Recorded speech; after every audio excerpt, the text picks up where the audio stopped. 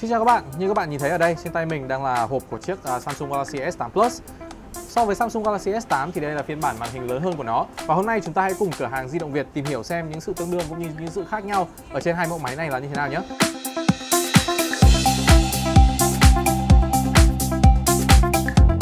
Như các bạn cũng nhìn thấy thì hộp của chiếc Samsung Galaxy S8 Plus này cũng có cấu tạo giống như hộp của chiếc Samsung Galaxy S8 Hộp chủ yếu có màu đen và logo có màu xanh dương như thế này còn lại tất cả những thông tin khác như là dung lượng bộ nhớ trong, tên sản phẩm, logo nhà mạng và màu sắc thì tất cả đều được đặt ờ, cùng một vị trí ở trên hộp.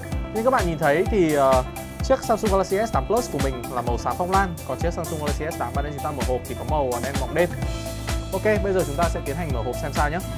Như các bạn cũng nhìn thấy thì hộp của chiếc Samsung Galaxy S8 Plus có một kích cỡ lớn hơn so với cả Samsung Galaxy S8 Tuy vậy khi mà chúng ta mở phần à, hộp phụ kiện ra thì có thể thấy là phụ kiện của hai chiếc máy này là hoàn toàn giống nhau. Đầu tiên, với cả hai thiết bị, chúng ta sẽ cùng có một cục sạc nhanh Adaptive Fast Charging như thế này. Chúng ta vẫn sẽ có một sợi cáp USB Type-C với cả hai thiết bị. Tiếp theo là tai nghe AKG.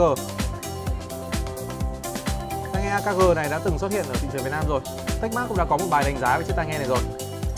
À, đồng thời chúng ta cũng có những cái tips tai nghe à, tùy thuộc vào kích thước tai của mỗi người với cả hai thiết bị.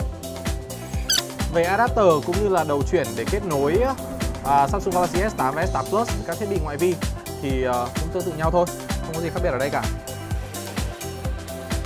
Còn đây là nhân vật chính của chúng ta, chiếc Samsung Galaxy S8 Plus.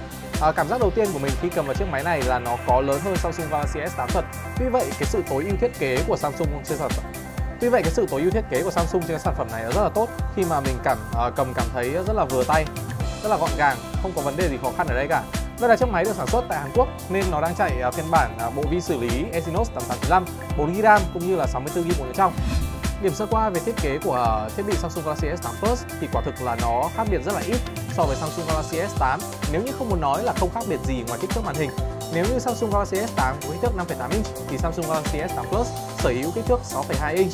Như các bạn cũng nhìn thấy ở phần phía trên chúng ta vẫn có cảm biến ánh sáng, cảm biến tiệm cận, loa thoại, camera trước. Sang phía bên phía cạnh trái, chúng ta vẫn có thể nhìn thấy nút kích hoạt trợ lý ảo Bixby cũng như là phím tăng giảm âm lượng được làm liền nhau như thế này. Sang bên cạnh phải, chúng ta vẫn sẽ nhìn thấy phím nguồn. Ở cạnh dưới là sự xuất hiện của jack cắm tai nghe 3,5 mm, cổng sạc USB Type-C, đích thoại cũng như là loa ngoài của máy.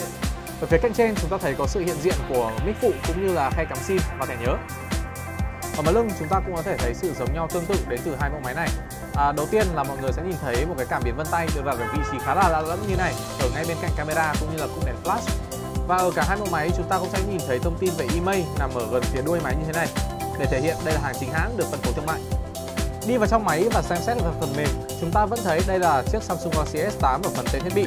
Số kiểu máy là SMG955N cũng như là máy đang chạy trên phiên bản Android 7.0 Nougat mới nhất và được tùy biến trên giao diện Grace UX 8.1. Tất cả số hiệu bản tạo, phiên bản phần mềm bảo mật cũng như là phần mềm nhà cung cấp dịch vụ thì đều giống so với chiếc Samsung Galaxy S8 chúng ta đã mở hộp. Và đó là tất cả những thông tin có trong bài mở hộp chiếc Samsung Galaxy S8 Plus này. Nếu các bạn thấy video hữu ích, hãy cùng tham khảo di động việt.vn để có thêm những thông tin chi tiết về chiếc máy này nhé. Xin chào và hẹn gặp lại các bạn trong những bài mở hộp trên tay cũng như là các video sắp tới.